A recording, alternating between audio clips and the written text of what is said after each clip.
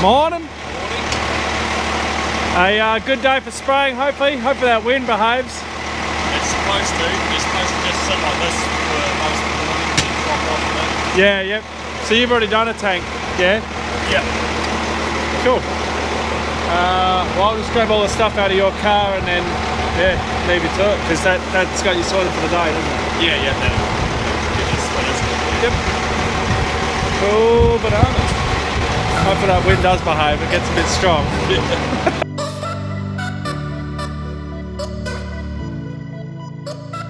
So we've got the uh, the batteries for Grover. These uh, belts are for the uh, old auger. And in here we've got wheel bearings for the uh, Wildcat, so that's spares. These are fuel filter, uh, sorry, oil filters for the old augers. These are for Louis, so fuel, fuel and oil. That's an oil filter for the uh, the 13 inch auger.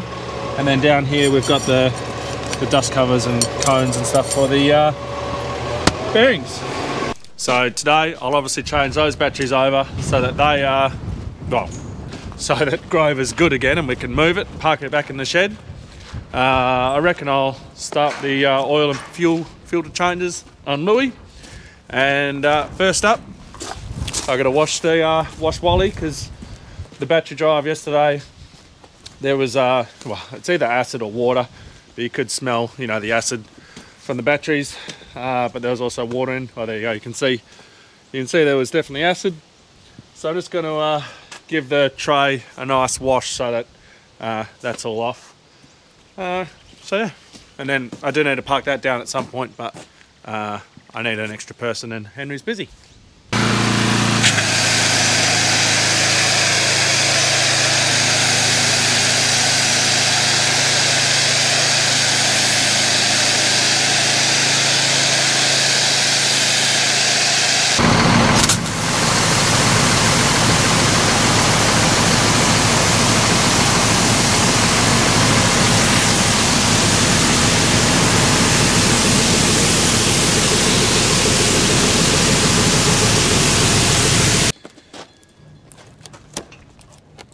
time to change some batteries over. I can only get my fingers in here to get the box open. There we go. They're green.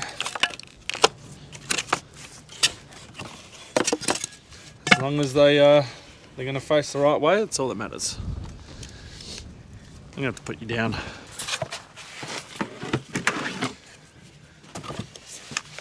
Right.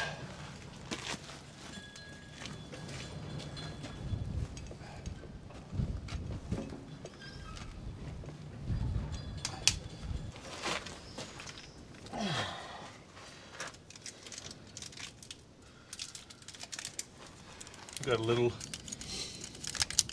thingy on the side here. Data sale, so that's just all warranty. Assuming there's one on this one. And I would assume correctly, don't need that. All facial expressions made during the course of this video are uh, to be forgiven. Batteries are heavy and they're awkward. I always love seeing in the movies how uh, you know the Rock picks up a battery one-handed and just throws it. Now he's a very strong man, so I'm sure he probably can, but to just lift it up with ease and throw them. It's just, it's hilarious, really. Um, batteries are stupid heavy. But anyway, get my span around the right way. There we go. Now I'm careful not to touch any metal here because I don't want to spark it on myself. Oh, there's so much metal around. Oh, I'm going to get zapped. Hang on.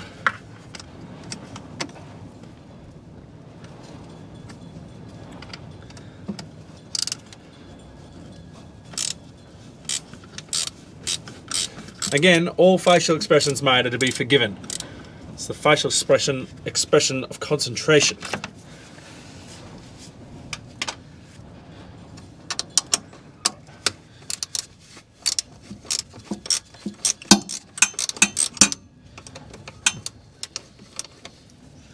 Yeah, it shows you how knackered the batteries are. Uh, for those who don't know, when changing a battery, uh, negative is obviously fine if you touch a negative terminal and touch metal, that's fine. But if you're touching a positive terminal and touch metal, you're going to arc the battery out. Nothing bad happens, it's just a whole lot of sparks come and you, you crap yourself. You know, you get a big, you don't, you don't get shocked or anything because it's, you know, it earths out up on the metal. It just scares the crap out of you. Uh, but yeah, these batteries you can tell are knackered because I just hit the uh, air tank here whilst uh, going up and uh, nothing sparked. So you can tell these batteries are completely toast.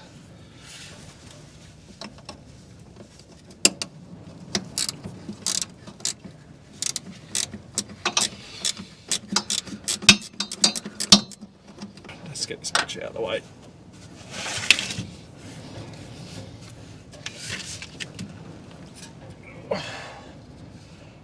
You're not going to give me the little handle. There we go.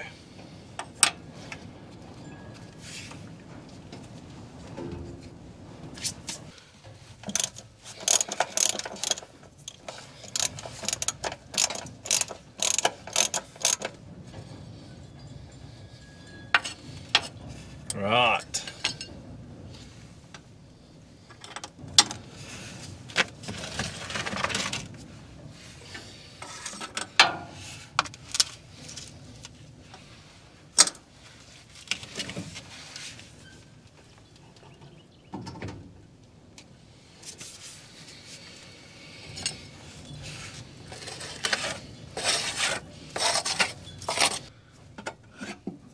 Well, the positive terminal is actually pretty good. The negative terminal, it's got a little bit of corrosion on, so I'm just going to grab some emery paper. I'll be back.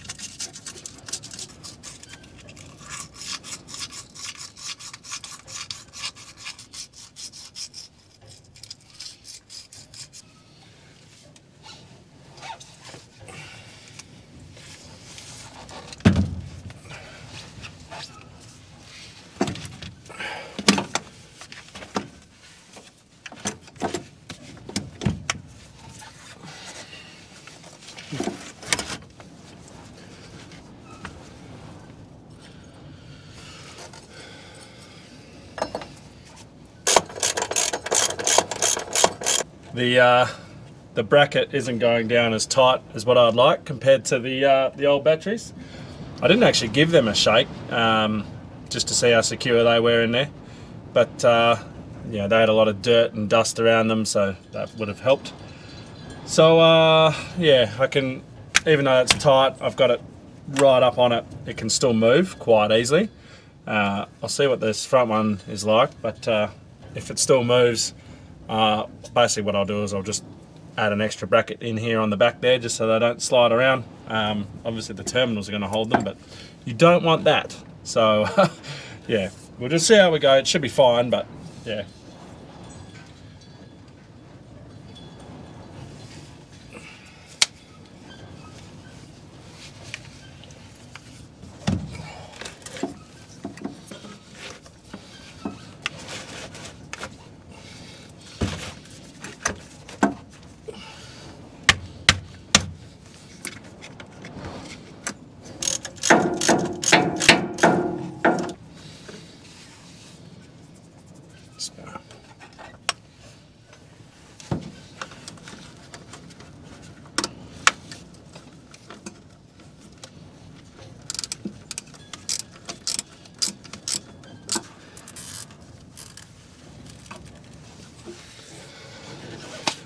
Okie dokie, artichoke.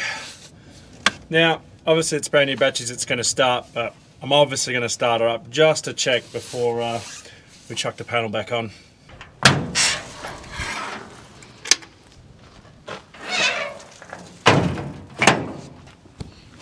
I must remember to turn that off when I uh, park this away.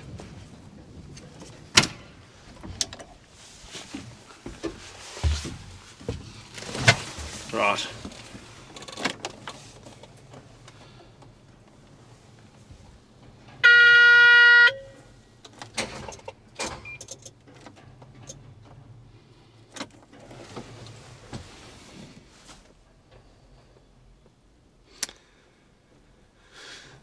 That shouldn't have happened. Right, I am a little bit confused as to what's going on. Uh, the batteries are obviously on the correct way. I, even went and double checked just to make sure. I got the voltmeter out just to uh, check that it was all 24 volt. You know, it was, you know, the batteries, new batteries weren't flat. They weren't. They're putting out 24 and a half volts. Uh, uh, you can see the uh, fire suppression system just here. That green light is still flashing, so there is battery power. Uh, but there's no power to the cab. There is uh, power to the jump start receptacle down there. Um, it's like a, a plug-in thing that looks like that. Uh, that is obviously for mine sites. So my next option, I'm just to, uh, there's a book behind me. I'm to get that book out and just check the fuses. Uh, I believe they're all down here. That, that down there and I'll just uh, go through and just see if I've blown a fuse somehow. But yeah, not sure. Uh, yeah. From my uh, my bit of diagnosing, it's the isolator switch. So this one up here, just just here. Now I know it's the isolator switch because uh, well I've got absolutely no power to the cab at the moment, none. But uh, when I was just playing with this and just slowly going, you know, you could hear it sort of go like arc, I guess you'd, you'd call it. Um, and I eventually got it, and then up in the cab, I had life. Went to start it again and went. So now, ideally, all you do, John, is you just pull that off, mate. Give it a bit of a clean on the old terminals the other side. Bob's your uncle. How do I do that? Look at this. Look at this. It's all bloody welded. It's a welded frame. I don't have, you know, spaghetti arms. I can't come in from that side. And yeah, so if I was to undo this, it'd just fall in. And then, uh, yeah. I don't know. I'll, uh, I'll figure it out. Right, a few more dials open now. I just contacted the guys that I bought it off. Uh, the, uh, so it's an ex-mining crowd, uh, ex-hire crowd. Uh, and they were very helpful. Um, basically just, yeah, what I really wanted to do is get this off, the isolator off, and I want to clean it up because uh, I feel that's my issue. But I don't know how to get in there because it's it's a welded frame holding up the hydraulic tank. Uh, basically, the consensus is undo this, undo that, and hopefully just pull it up, pull it down here so I can so I can get to it.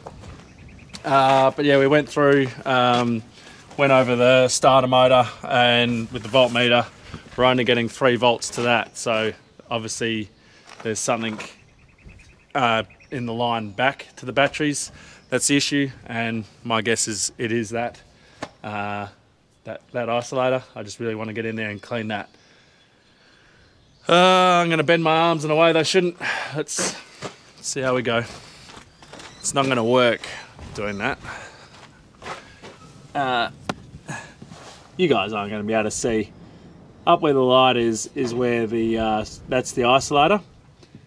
Now the isolator uh, has got a cord that goes down to the jump start receptacle which is just below the uh, the isolator. So I'm not going to be able to get it to fall down and work on it. And it's I can't reach my arms across there physically. It's too far. That's the width of the machine from this side. Um, I'm not a small, nimble man. I, I mean, it's a child would have to fit through this little square here to get through to that side. Uh, I can't take that frame out.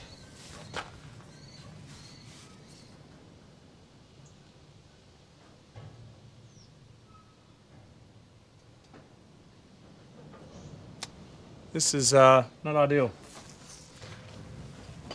Okay, so I, uh, I called Danny Smith, who is uh, a mechanic, who um, a heavy diesel mechanic that does all the sort of cat gear. Uh, if you've watched Jack out the back, he uses him a fair bit for all his uh, heavy duty stuff. Um, so yeah, he's actually going to Will's across the road on Sunday because Will's loader is uh, got an issue, uh, and he's going to pop over here and have a look at this for me. Um, he obviously knows what he's doing, so he'll be able to get in there and get that isolator switched out. I would be here for days trying to get my arms in there. I, he obviously knows exactly how to get in there and swap it out, so that's what he's going to do for me. So, we shall just leave Grover here, and I will get to packing uh, all those other filters and everything uh, away in their appropriate spots. Right, so we got all the things to put away now. Um, I won't get to doing that oil and fuel on Louis today. That'll be a next week job. Uh, today the uh, monster auction, it's a Friday for me. The monster auction is on down at uh, Cascade. So uh, yeah, sort of pack up all my stuff and uh, yeah, head on down to that and go and uh, probably not bid on anything, but yeah, we'll see what happens. So there's three belts here because you've got three dry belts and I've just got myself a bit of cardboard because who knows how long these could actually stay up in the shed for and just writing exactly what it is on there because after making that uh, after making the um, the words are going to come from me. I'm, I'm losing all my words. All the belts up there clean in the loft uh, want to try and keep it as clean as I can neat as I can and uh, if we label everything then it means that uh, things won't get lost or misplaced. Also means come harvest time, if uh, I need to send somebody up here to grab some bolts, grab some bolts, grab a belt. So we've got auger, auger belts here. I can just tell them, it's just there on the auger drive and hydraulic. Get the old auger sorted. Sure you're getting a glamorous view of me right now.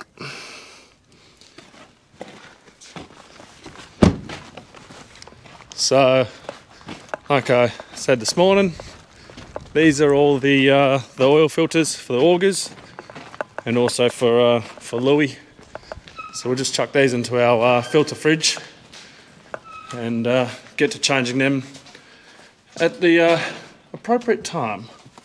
Oh, that wasn't good. So, uh, just a fridge full of filters. Where am I going to put them so that we we know Actually, what I should... Let me get sorted here. What I should do is uh, actually go through this and uh, clean it out. Uh, just so that um, you know we don't have the big air compressor anymore. I don't know what that, that says. That's for a Nissan. We don't have any Nissans anymore. So just so that we um, yeah, we know exactly what everything is and we're not keeping filters that we shouldn't have. Now I haven't written on them, but I know what they are. So, yeah. And finally is the, uh, the wheel bearings for the Wildcat. Uh, I've already got one set up there ready to go. But uh, you'll see come harvest, because it's, it's a tandem, the wheels can tend to get on quite an angle as, uh, as it turns. With a lot of weight on there, it's obviously not good. Uh, so we're going to obviously use one, actually next week is when we're planning to change it. So we're going to use one next week when we fix it. Then I want to make sure I've got spares in the shed. Now, these are the uh, the dust covers for it. Now we don't, didn't actually have any of these last year, so we were having to save them. So it's nice that we've got uh, some, some proper dust covers. And again, we are just gonna label it all because uh, God, it helps when you label things. Because you just don't know what things are when you go, when we go to clean that shed out, uh, the, the loft again, in uh, another five years, when uh, it's all messy again. And we're gonna go, what is, what was this one for? Now we know, it's for the Wildcat. So, uh, see, we've got, uh, got some just there. Let me find somewhere to put you. Oh man, it's, there we go. So now we've just got got adequate enough. We don't have any wheel bearings for the for the other one, the Grand King, but we'll pull it out. We're to do work on it anyway, and just we'll check them. Uh, what we do have, there are things that break on that. Uh, I guess I'll show you later, but where the uh, PTO uh, comes from the tractor, it goes to a mounted section, and then it goes from that mounted section down to the gearbox. If the guys turn too sharp or you know something bad happens, they break. So that is what these are for.